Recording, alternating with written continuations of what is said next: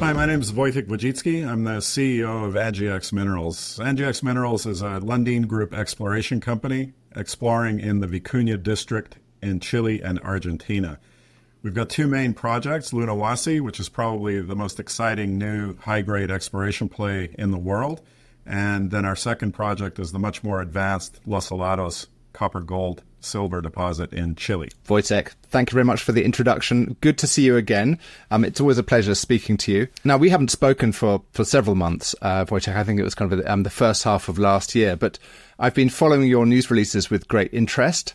Um, and it seems like I'm not the only one. Uh, Crux is at the moment, Crux Investor is doing a review of the TSX 50 uh, companies every year, the TSX Venture comments and hands out awards to the best performing com- uh, companies on the on the exchange, and NGEx is in there um, uh, with an award. Um, it's always nice to get plaudits. Uh, were you aware of this? Uh, yeah, no, we heard about it. It's a great honor, and you know, in fact, NGEx is a is a two time winner of the TSX Venture 50. We also won in 2022. It's been a great couple of years for the company, and it's really been driven by the success from the Lunahuasi project. Uh, yeah, you've been putting out some spectacular results. Um, now, your market capitalization is uh, kind of pretty hefty now. You know, kind of you're up at 1.6 billion dollars. Um, the share price has performed extremely well uh, in the last six months. Obviously, not just the news releases, but the seeming um, well, the strength in the copper price and seemingly kind of um, awakening in the investor sentiment or, or perhaps I, I, shouldn't jinx it by saying that, but it seems as if there's a little bit of interest coming back into the sector. But um, when did when did you join NGEx? Because it wasn't. In, in, you, you've been with the company for a while now, haven't you? Yeah. So NGEx is a company that we formed in 2008. Um, it's a Lundin Group exploration company, and in the in the beginning, it was a roll up of three separate kind of regional Lundin Group exploration companies. I was brought in to to run the combined company know, sorted through the portfolio, decided to focus on the Vicuña District projects, which at the time were early stage grassroots projects, but they looked really good. So we kind of sold off everything else that we had, focused on the Vicuña District, made three discoveries in short order Filo del Sol, Los Helados, and Jose Maria.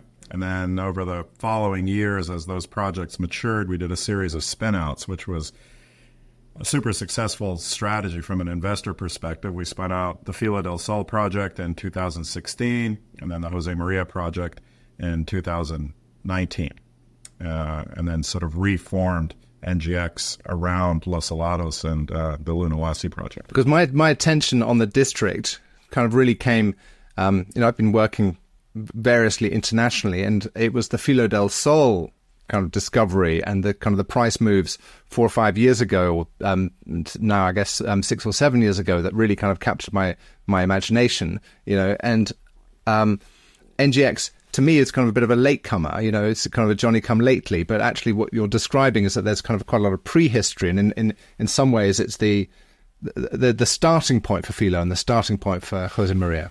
Yeah, yeah, no, but that's that's very accurate. That um, you know, really the spark for broader investor interest in the Vicuña district came with some spectacular results drilling the deeper part of the Filo del Sol project. So there was a, you know, the first drill hole that we managed to get into the into the deeper first deeper drill hole into the center of that system really sparked the interest in in in, in the overall district. But you know that in a way sort of masked or overshadowed a lot of the hard miles that that came before that. But that's often how it goes in exploration. You, you know, you work, work, work, and a lot of that early work is not necessarily rewarded by the market, but it's the, you know, it's all the setup that you do that, you know, that makes the later success seem like it came out of nowhere. But, but it rarely, yeah. you know, there's all, almost always a lot of hard work that goes behind it. An overnight success story. Yeah. No, exactly. But in this case, is, only, you know, it's taken more than 20 years to get where, where we are today. If you look at the share price charts over the last four or five years, you know, it's they're pretty steeply up. But there's a there's a long period where we were doing a lot of the groundwork that that set us up for success on you know on all three projects that um, you know that happened with less um, less fanfare, less profile. Funnily enough, I always um, think that that's kind of missing in the in the famous Lassonde curve. You know, you, because everybody talks about the discovery point. You know, when you first yeah. start getting those drill holes in, and then you the share price responds, and you you you are able to uh, publish, or a company is able to publish a series of good intersections uh, one after another, so that the resource, the envelope of mineralization grows and grows and grows. But what it doesn't show is that that pre-discovery timeline, which can be a really really long time, where you're just building your geological understanding. You're making, um, doing exploration holes, many of which fail. Yep, exactly.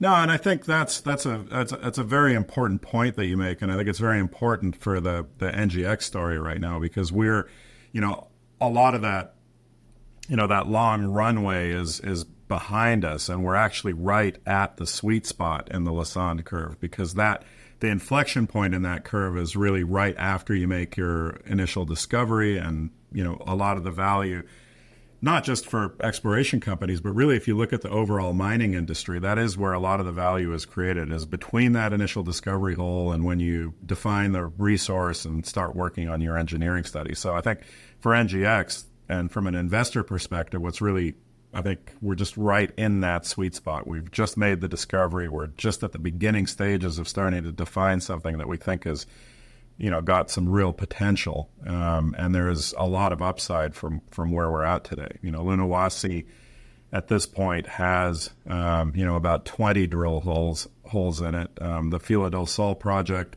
you know, our neighbor six kilometers to the south has got over over 300 drill holes. You know, so we're we're just at those very early stages of value definition, which um, or value creation, which is you know as an investor, that's exactly where you want to be. The project's been de-risked a little bit. You've made that initial discovery, so you know you've got something good, but a lot of the um, the value is still in front of you. Playing devil's advocate, could could one not say that? You know the market's kind of run to a degree. You, you know your your share price was two dollars a, a, few years back, or um, um, uh, and a bit lower, you know, before that, and you're yeah. now above eight dollars. You know, you've, you, the value's grown f- uh, over four times. Your your market capitalization is one and a half billion. You know, is, is is the goose cooked? Yeah, I would argue that it's that it's not, and I think there's a couple of reasons for that. One is that if you look at historical world class discoveries, and you can look at the, the, the share price chart for Filo del Sol, that's a good one to look at, but there's a lot of other discoveries historically. And what you see over and over again is an initial run up on the announcement of the discovery hole, you know, and that yeah. can be anywhere from 100 to 200 to 400 percent. Um, you know, in that initial run up yeah. on the discovery hole, there's typically a period of consolidation. But what's what's interesting is that the vast majority of the value in these big discoveries, and that's you know, if you go back and you look at famous stories like Voisey's Bay or Aurelian or um, or Oyu Tolgoi, a lot of the value came after that initial discovery. You know, and, and yeah. so typically it's that you know a couple of hundred um, percent in that in that first run up, and then you know a thousand percent after that. Once people start to realize the significance of what's been found, and that's exactly what the Lassonde curve would would predict. The inflection point is the discovery hole. The value creation, the serious value creation, happens after that.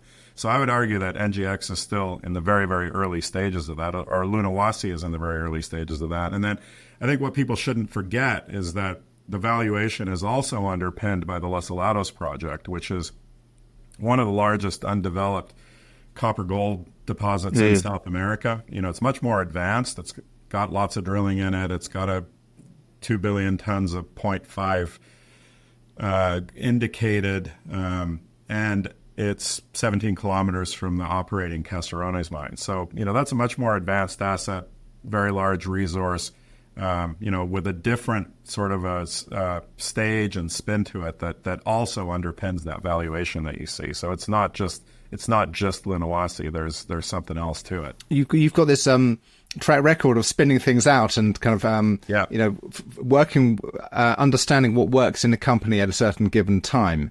Um, presumably you, you have that conversation at the board level or in your own head on a regular basis. You know, does yep. do these does this combination of assets fit together? Um, you know, it, yep. Could they be better? Should Helados, Los Helados be with, I don't know, Filo or with um, you know, who's who's closer? I, I, I can't remember the uh, geography. Yeah, it would be Lundin Mining's Caserones mine. Yeah, that's closer. Yeah, yeah, yeah, yeah. I mean that you know that conversation is one that we have on an ongoing basis. It's you know the the spinouts and a well thought out, well timed spinout strategy is a is a big part of the five billion dollars worth of value that's been created in this district by NGEx and its its predecessor companies. So, you know, we definitely like the spinout approach. The the reason for the success of the previous spinouts, though, is that they were very well thought out. You know, and the timing uh, the timing is critical. And the number mm. one factor in deciding whether you do a spinout is, you know, are you is there some is is an asset being undervalued in, in your current current portfolio and would it be valued better separately? So that that's the fundamental question. Like why are you doing this? You're doing it because you think, you know, there's a piece of your portfolio that's undervalued. So whenever we see that or we think that that's there, um, you know, that's when we've that's when we've done the spinouts. I don't think we're we're we're there right now with the NGEx assets. I actually think they're probably worth more together at this point. Mm, interesting. But if that changes, and you know we see any chance, I mean, we're big shareholders in these companies, so if we see any opportunity to um, to surface more value by doing a spinout, we'd certainly look at it. But um, it's not something that we're considering right now, just because the um, yeah, for a variety of reasons, we think the assets are better together for now. There's also chatter out in the market about um, the, the, the converse. You know that the now that there's been you, you, the the Lundin Group's got Caserones oper- in operation. You've got Los Helados, you've got Filo, you've got Filo del Sol. Um, uh, you've got the kind of emerging Lunahuasi. You know, there's there's the converse, which could be kind of a, a, a roll up or consolidation. Um, you know, at some point with your corporate finance head on, that also has to be a consideration, surely. Yeah, no, I think that's I think that's true. I think the the spin out strategy and and putting these these uh, assets into separate public companies made a lot of sense at the exploration stage. Um, no question that generated a, a huge amount of value, and it was the right strategy. But as the district starts to shift to looking ahead to how do you put this together, how do you put this into production, I think the calculus does change, and these assets are geographically close. Um, there's a lot of potential synergies. You know, there's a lot of potential fits between the different mm. different assets. So I think as you start to look at uh, towards production, um, consolidation definitely makes sense. Um, you know that that kind of happens in the background. I mean, my job as CEO of NGEx is to maximize the value of, of NGEx minerals and, and our assets. You know, if if if a if a roll up comes along and, and our shareholders benefit from that, that's that's fantastic. I mean, I you know, stepping outside of that, I definitely can see the logic to the consolidation. You know, when it happens, how it happens. Um, you know, that's to to be seen but but but there's definitely a logic to bringing the assets together. And then the the the, the kind of the the next logical kind of continuation of that conversation is that these are uh, uh, high, remote, complex engineering projects with water challenges and mineralogical challenges um, that are long-term, long-lived, high capital projects, which are best suited in a kind of a syndicated approach, really. Yeah. Um, and I think, you know, that probably the way to think about them in terms of a development scenario. I think you look at all of the big districts in, in the central Andes, um, they're typically developed by a syndicate or a consortium of companies. The interesting thing in the in the Vicuña district is that over the last couple of years, we've started to see some of the players that you typically see in the development of these of these other big districts um, kind of in play or active in the Vicuña district. So we've had BHP take an equity stake in Filo Mining. We've had Lundin Mining buy Caserones or buy an interest in Caserones and buy Jose Maria. We of course got our long-term Japanese partners, JX Nippon. You know, and so those are some of the pieces that you typically see in the development of these districts. Uh, you know, a Western mining company or two um, you know, often Japanese partners, smelting and kind of concentrate offtake um, skills. You know, those are the, the typical partners that develop a lot of the, the, the big districts. So, um, you know, we'll see how the Vicuña district develops. But that's one big change over the last couple of years. This is no longer a junior exploration play Um, you know, it's got some really big players now, um, at least, you know, taking a look at the district and starting activity there. It slightly fits the narrative that the this the majors and the kind of the, the, the big conglomerates are sometimes they talk a big game on exploration, but um, fundamentally they they are also very happy purchasing in on a de-risked asset. I mean, um, I know BHP has kind of often run with that, and I know that Rio Tinto has had success at um, Winu in Australia and BHP's with the Oak Dam, and then you've got the, the Resolution in, in Arizona.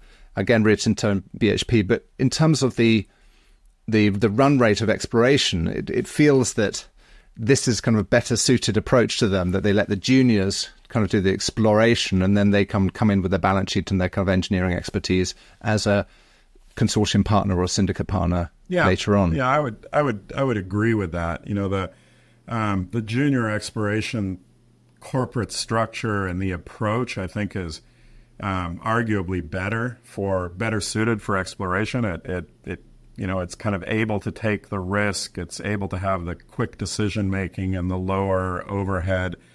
Um, you know, than than is possible in a larger organization. But then once you get to development, you really need that balance sheet. I mean, really, that's how you, you know, the Lassonde curve really was developed to explain what happens when large projects are in junior companies. The you know the bigger companies can kind of absorb that. You know, no one's looking at them day to day while they're you know, you doing a feasibility study, no one's wondering how they're going to raise the capital to develop the project. So, yeah, that it's it's that that's definitely the logical approach. I think that the juniors and I think a well-funded junior exploration group like us, like the Lund, like the Lundin Group, junior exploration companies, I think we're we're good at doing this. We de-risk these assets, and the biggest de-risking that we do is making that initial discovery. Because when you look at the overall returns for for exploration, the reason that you know they they look high risk and they look low on a kind of on a consolidated 100% basis is so many early stage exploration projects fail.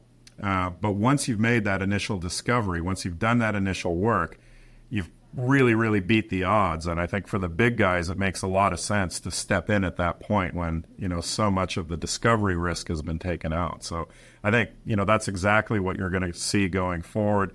Um, exploration, like you say, the the bigger companies talk about it a lot. They do some of it, um, but there certainly hasn't been enough done to to make the discoveries and generate the assets that we're going to need for this coming copper boom. You know, there's a real shortage of this sort of project, and I think that's going to make the kind of things that that we've found uh, extremely valuable over the next couple of years. I agreed, agreed, agreed. Um, Tell me about Argentina because there's there's dynamic change in Argentina at the moment, yeah. and it's, it's, it's very hard for an outsider to to get a feel for what's going on. Um, yeah. It looks good in terms of um, the, the, I know it's shock tactics, but I just wondered what you're what you're seeing. Yeah, well, I mean, I've been working in Argentina for uh, 16, 17 years now, and the Lundin Group has been active in Argentina for over 30. So we've got a lot of experience, and we've worked through you know all sorts of political conditions um, and been very successful at it. You know, the Lundin Group, earlier companies were responsible for two of the biggest um, mining operations in Argentina, Bajo de la Alumbrera and Veladero. So we've been able to generate very good shareholder returns and very good returns for, for the country of Argentina over time. Um, I mean, that said, I think, you know, the new government is in Argentina is, I think, making some proposals that I think will make it easier for large scale, long term foreign investment like mining to be made. Um, you know, it'll they're attempting to remove some of the distortions that have kept crept in over time and have made it difficult for people to put money to work. Um, it's early days, and you know, I think President Milei is is doing his best. I think his you know his his ideas are are good. Um, you know, the challenges are are political and getting that through uh, through Congress. But I think you know, I think it's a it's a good start, and um, you know, if he succeeds, I think it'll be good for Argentina. Succeeds in opening up the economy and attracting foreign investment. It will be good for Argentina, and it'll be good for it'll be good for the world, frankly, because um, you know, copper is definitely going to be one of the assets that we need over the next couple of years. Argentina's got some some great projects that'll be unlocked with mm. um, with some of the changes that he's proposing.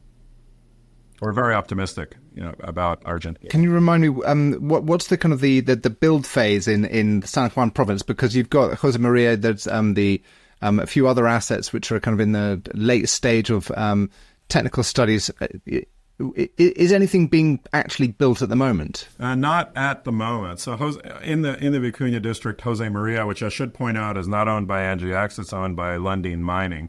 Uh, yeah. That's the most advanced project actually in Argentina right now, and it's at the um, feasibility studies have been completed. Um, some of the some some there's some early works programs going on, uh, but they have not yet made a construction decision. But in terms of stage of projects and projects that, that could be moved forward. Um, you know, Jose Maria, I believe, is the, the most advanced copper project in Argentina right now. But uh, just highlight that's a Lundin mining project, not NGEx. Um, but Argentina watchers, that's the kind of one to have on your radar to kind of indicate whether serious capital is being deployed into the country. Yeah, I think so. Yeah. Yeah. Good. The plan for this year, um, you're drilling um, the, the, when I look at your news releases, it kind of it uh, it my mind kind of uh, boggles at the topography that you're dealing with. I mean, do you? I mean, is it too high for helicopters? Do you? How do you get your rigs? Um, you changed the name of your asset from um, um, Potro Cliffs, which I thought was there was a clue in the title, to uh, Lunahuasi, which is a lot more romantic and um, um, makes it seem as if the engineering is a lot easier. But um, it, it, probably is quite a challenging environment in which to operate, isn't it? Yeah, I mean we're we're definitely in a high Andes environment. I mean it's very similar to the to, to the other projects. It's very similar to the environment that the operating Caserones mine is in. Uh, but there's no question, you know, we're at high elevations here, over 4,000 meters, and, and in the Andes. Um, that said, you know, the access is actually quite good. We've got a very good road network through the area, so we don't we don't use helicopter access. We've got a road network that you know allows us to move around the, the project, all the projects very easily. Um, yeah, we use truck mounted drill rigs, and um, yeah, the access is maybe not quite as difficult as the as the photographs might make it seem we've been operating in this area for a very long time. We've got a lot of a lot of skills at operating in this environment, and it's not a particular challenge. You know, there's there's no such thing as easy exploration, and, and this is no. well within the the range of um, you know kind of a, the comfort zone for for operations. Do you take a winter break for snows and, and cold weather and short days? Yeah, NGEx does. Um, Filo right now, you know, which is only six kilometers to the south of us, they operate year round. It's really just a um, a cost and stage of project issue. It get it does get colder. Um, you do get snow, and it gets more expensive because of all of that. So up until now, NGEx has been stopping for a couple of months in the southern hemisphere winter.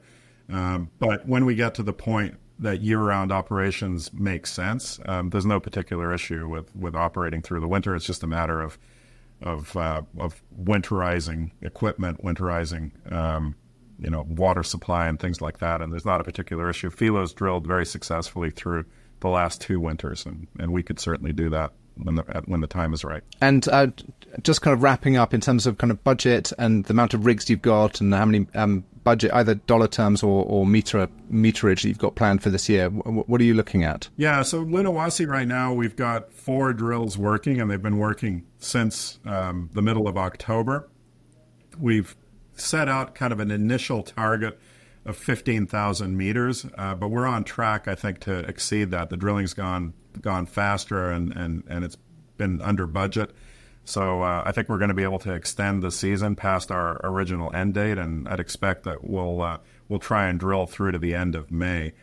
Um, I mean, the results have been really good from Lunahuasi, and I, I, thought I thought maybe I'd just take the opportunity to to highlight just how extraordinary they've been, and maybe go through some of the some of the results. So you know, our last news release had a couple of I think you know really noteworthy numbers. So there was 72 meters of 9.6 percent copper equivalent.